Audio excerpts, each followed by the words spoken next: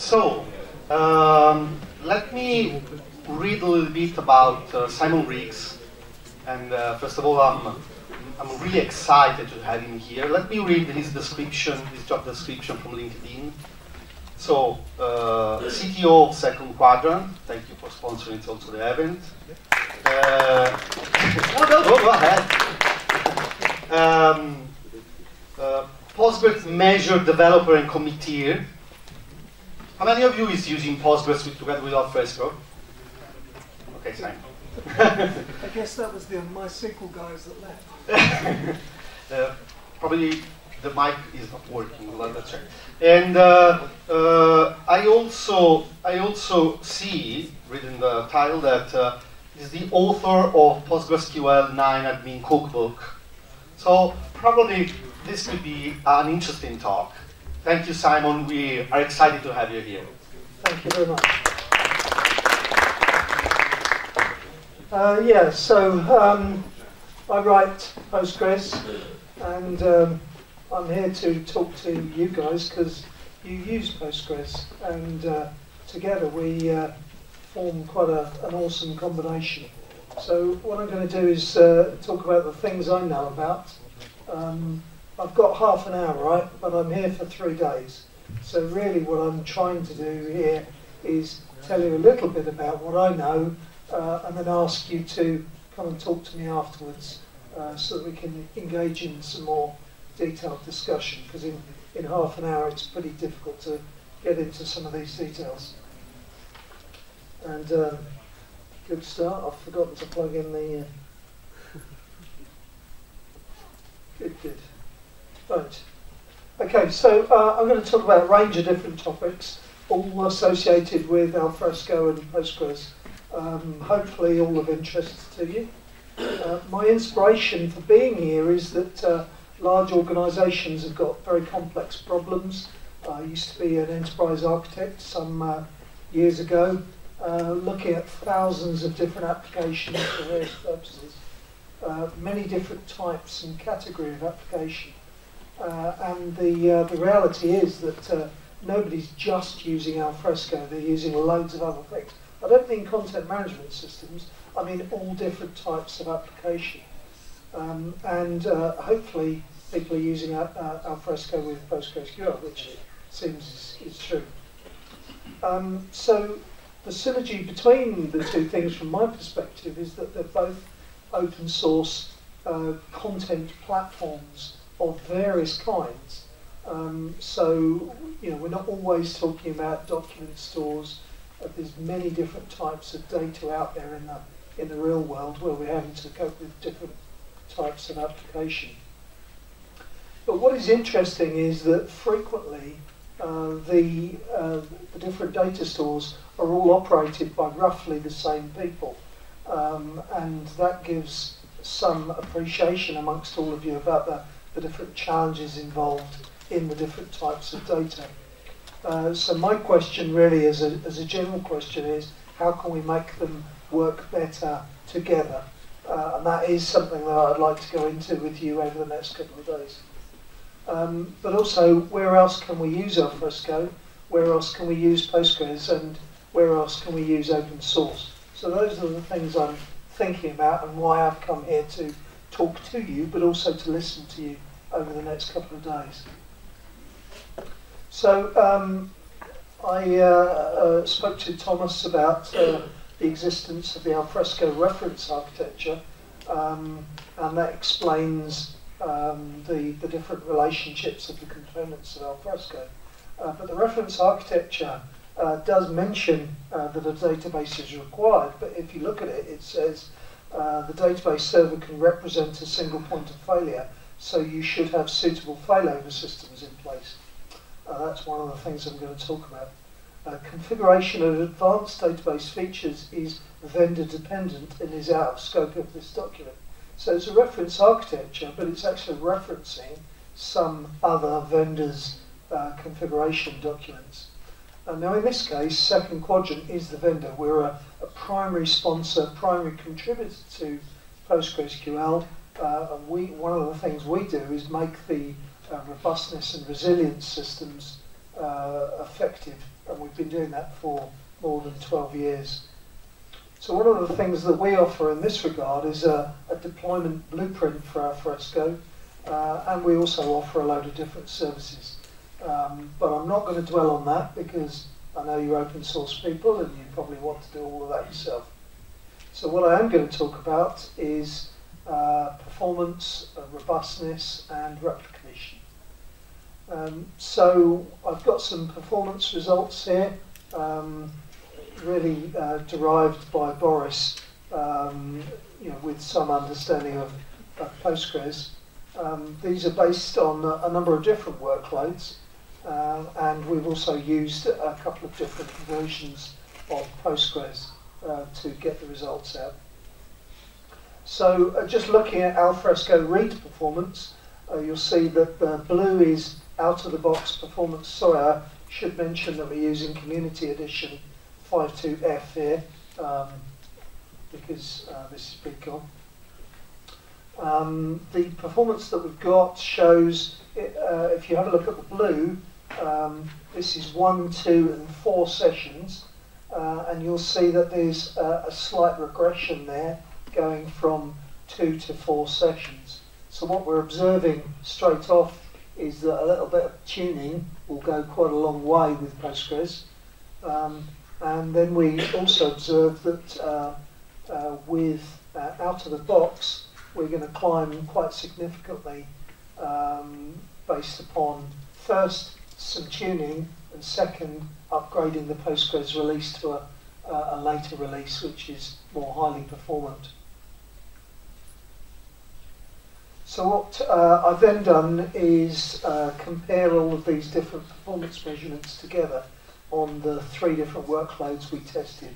One is uh, a write mix, which is uh, creating users, um, and then uh, there's the retest, and then there's the mix, which is a whole range of different things. Um, and in all cases, you can see that um, tuning is going to benefit you uh, quite significantly. It's roughly going to double the performance uh, on uh, the system uh, and the important thing to note there is that uh, we're not doing anything at all to alfresco, we're just simply tuning Postgres. Okay? So this isn't better hardware or anything, it's just simple tuning actions on PostgreSQL itself. Uh, and then of course uh, you can see uh, that we've been doing our jobs correctly because the performance goes up from release to release. And that is something that we've been doing with Postgres for many years now in fact, uh, since I started the project, uh, the server's about 200 times faster.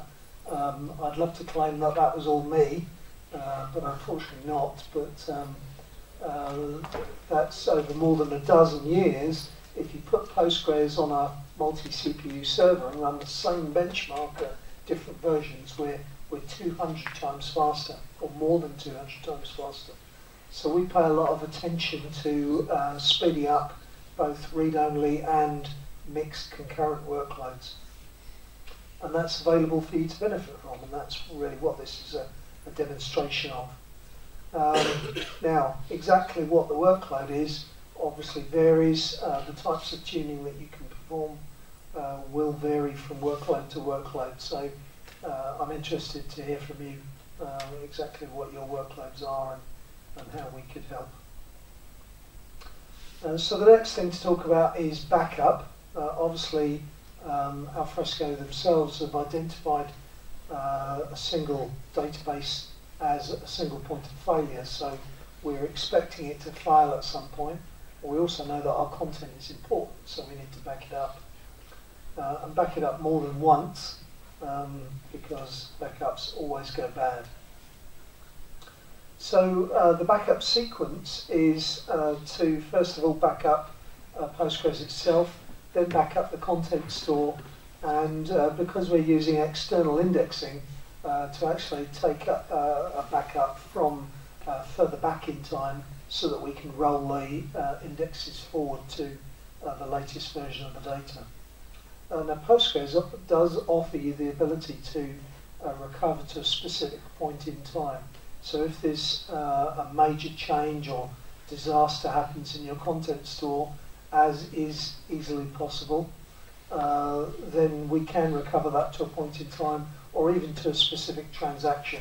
So when you're trying to line up different data across different data stores, it's very useful to be able to uh, recover things to an exact point in time.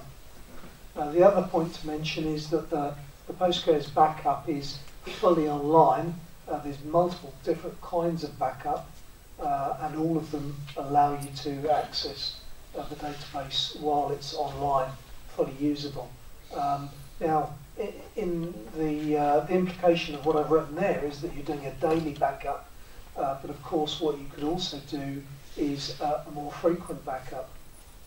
Now, one of the things that um, uh, we often mistake is that um, uh, uh, if you do something called a PG dump on a Postgres database, it does not offer you the opportunity to do uh, point-in-time recovery. It's a snapshot backup. So if you do your backup nightly using that technique and you crash, you're going to lose a whole day of work. Uh, and that's why we offer uh, much more fine-grained backup mechanisms uh, and replication using the same transaction log facilities because it's possible to set this up in a way that you don't lose a transaction at all in the case of a crash, which I'm sure you think is quite important. Um, one of the things to mention about the, uh, the backup, though, is uh, the use of Solr indexes uh, themselves is uh, something that, uh, although it's uh, the standard way at the moment, it doesn't always need to be that way. Um, the, the, the currently supported version of Postgres with 52F is 944. Uh, that's 9.4.4. Now for me, uh, that was published in 20, um, uh, 2014. So at this point, that release is two and a half years out of date. Now, if you're used to using Oracle, two and a half years is nothing, right? That, that was the last release of Oracle. But with Postgres, we release a new version every single year. Uh, so at this point, 9, uh, 9.4 is two major versions behind uh, what we think of as production. We just closed uh, the freeze window on version 10. Uh, so in September, uh, that number will climb to three whole major versions behind where Postgres thinks is the right place to be. now some people think that that gives you stability, but the reality is that a lot of the bugs can't be fixed in uh, back branches, and uh, the best way to do things is to actually use uh, a later version.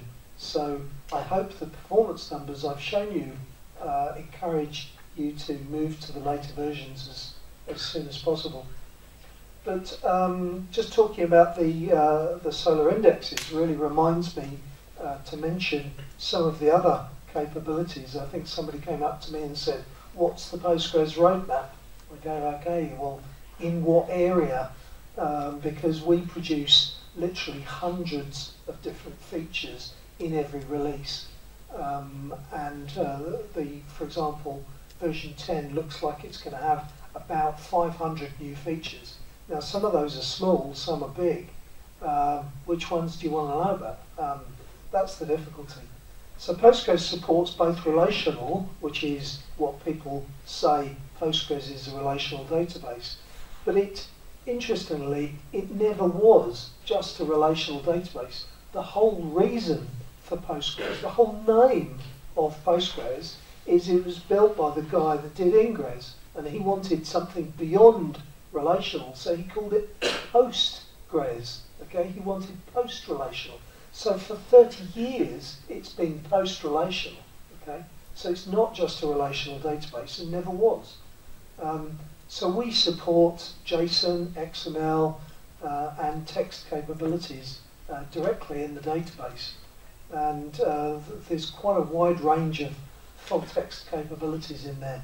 Um, trigram similarity indexes, regexes, uh, wildcards, phrase search, um, and just to make the point that this is fully real-time indexing, not near real-time indexing. Um, and there's multiple different types of index. Postgres has got more indexes than any other data store. Um, and th that's, that's just the index types out of the box. Uh, the index uh, mechanism is actually extensible and you can write your own indexes as well. So just a couple of uh, other capabilities in there. Online upgrade, concurrent index build, parallel query, partitioning. These are all things that um, would be of great interest to you, um, I think, uh, I hope. Um, so, you know, it would be interesting to talk about how we might use those. So what I wanted to do was just give you an overview of how the replication works, just so that you can understand how to remove the single points of failure. Um, so uh, Postgres uh, produces streaming replication, which means it does very low, low latency links to a second, what we call a standby node. Now you can do that asynchronously across regions, or you can do it synchronously within a region. On top of that, uh, you can actually uh, set these things up in a way that cascades from one to the other as a way of uh, uh minimizing bandwidth. You can also run queries against the uh, standby nodes. So you can actually access that data in multiple different ways.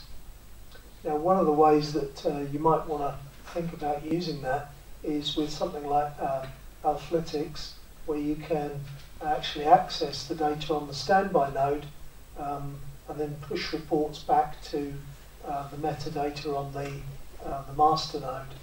Uh, that's one of the approaches that you might use. Now that's available uh, now. One of the newer technologies that we're moving to is something called logical replication, which allows you to replicate between masters, where you replicate just the data involved. Uh, and actually, if you use logical replication for that, it would work uh, quite a lot better as well.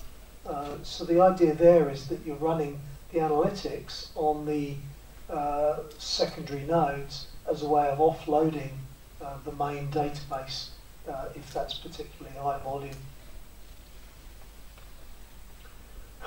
so I'm just going to give you a couple of minute tour of some of the other options that we've got with Postgres because these are the kind of questions that we tend to get all of the time. Does it support this? Does it support that?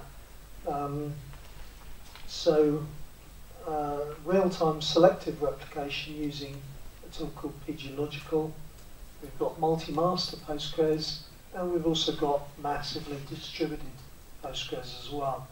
So uh, if I do that in pictures, um, the idea of pgLogical is you can take data out of your systems and uh, send them through to other nodes. And we can do this with uh, database technology. So we don't need ETL tools to push data around in batches. We can actually pump it in direct real time from system to system. So you can set up straight through processing systems. Um, now, this is how we get data uh, between systems. Uh, the um, because of the proliferation of applications in the in the modern enterprise, we end up with systems very frequently have extracts of data from one system to another, and it's quite rare to see a system that is just a standalone system.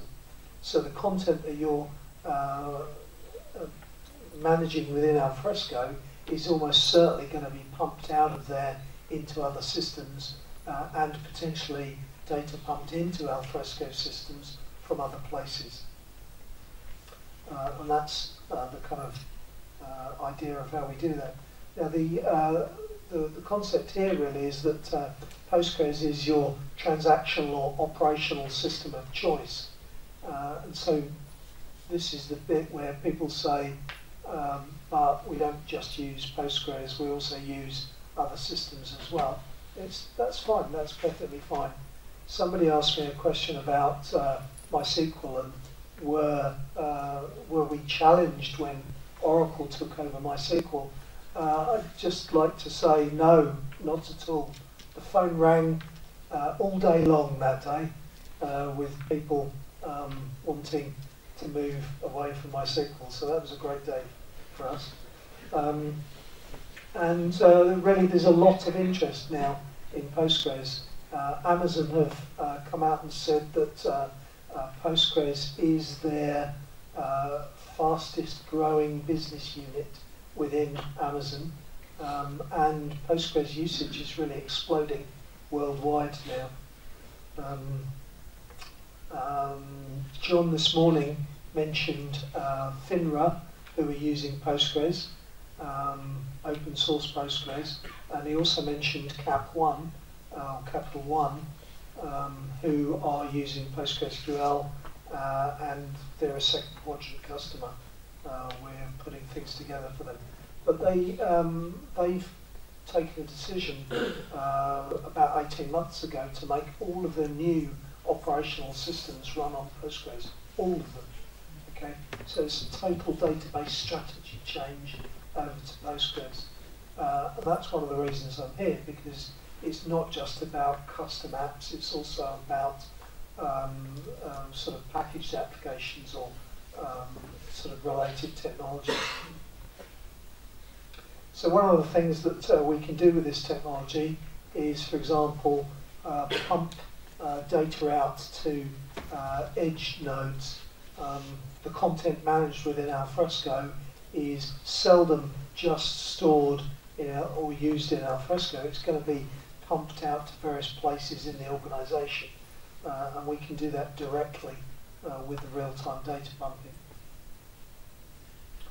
Uh, but one of the other uh, things that we can do is uh, multi-master uh, technology, because in, in quite a few situations you'll see where the Postgres database is only exists as a single master, it's quite painful to run uh, content store application remotely uh, where you've got uh, significant um, latency uh, between it, and this is this is latency between east and west coast.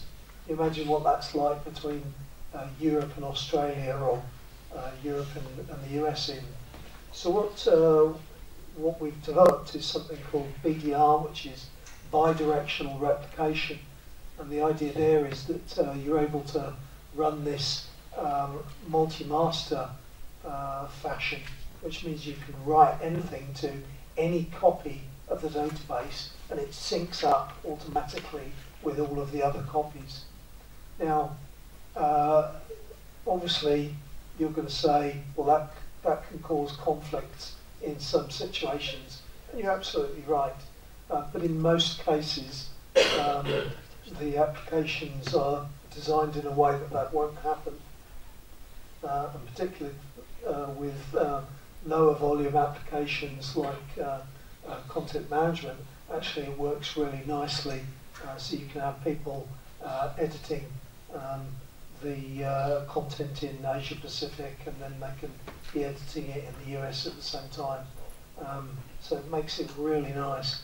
Now, if you're, if you're running a worldwide operation where your content team in Kuala Lumpur uh, are developing things uh, for you. I mean, they're typically going to be eight hours ahead, and uh, as a result, there's, there's not likely to be any conflicts. Um, so we're using this technology for, for quite a lot of production systems. Uh, the, uh, the normal thing that people also ask is, uh, does it run in distributed fashion? does it scale? And yes, we have a scalable version of Postgres. It's not Postgres core yet, um, but I should add that all of the things I'm describing here are fully open source. Okay, I'm not uh, describing proprietary technologies. These are all open source contributions and fully managed projects. So what this does is um, allow you to run a database across a cluster of data nodes and as a result scale the database up into tens of terabytes and beyond. Um, so this provides business intelligence and OLTP. So if you've got a, a, a document store, this looks very similar in some respects to a NoSQL database. You can actually run larger queries on it as well. So, so quite a, quite a different range of capabilities there.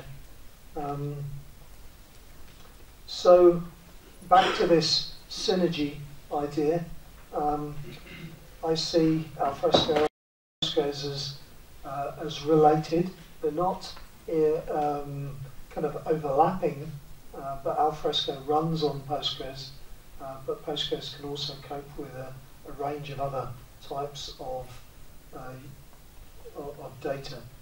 So please write to me or come and talk to me. Um, I don't know anyone here, right? So unless you already know me, but uh, I don't think that's the case. So um, I'm probably going to be standing on my own, looking uh, hopeful that you'll come and talk to me. So please, please do come and say hello. Tell us what you're using it for. You know, just tell me how you're using Postgres, and, uh, and I'll see if I can make um, some sense of that and see if I can help uh, with things. So uh, we are an open source company. Um, my uh, closing comments are to say that there are multiple vendors in the Postgres ecosystem, uh, but we're the people that are pushing the open source version forwards. And we've put together a sustainable open source company uh, that operates worldwide. Uh, so we're um, we've just set up in Australia. We've obviously been going quite a while in in the US, um, and uh, we provide support for for a wide range of large enterprises, um, doing kind of the normal stuff, training, consulting, that kind of thing. Um, so just to emphasise that we are sustainable open source. So all of this is being funded by users. and we're not actually venture capital funded. Um, we're funded by the people that use Postgres. Uh, and that's what's funding us to be able to put more than four man years per year uh, back into core Postgres, um, which is uh, what we spend quite a bit of time doing. So, um, got a couple of minutes left for questions, uh, but I'm aware that uh, I've only really given you a very small amount of information about uh, uh, Postgres today, so I would very welcome um, some deeper conversations. all questions now? Oh, thanks for your for your talk because we are using Alfresco and we are using also Postgres every day, but we have no idea about Postgres. It's just another box on our system. Yeah. Um, we last year we were um, migrating uh, three Oracle database to PostgreSQL yes. because uh, of the uh, of the client. They are asking to move from Oracle to uh, to Postgres, and we were using uh, that uh, Oracle to PG tool. I don't know if this is the best approach as a Postgres newbie or not. Um, yeah, it, it, it's typically more complex than just that, um, but it depends how, you know, where it is on the complexity scale, really. So, they're, they're, you know, mo most of the open source tools work to a certain extent, and then after that it requires, you know, typically some manual intervention. But um, we've uh, certainly improved the Oracle compatibility over the years. Um, so there's, there's not that many things it doesn't do just directly now. So um, improved it a lot. So. Other questions?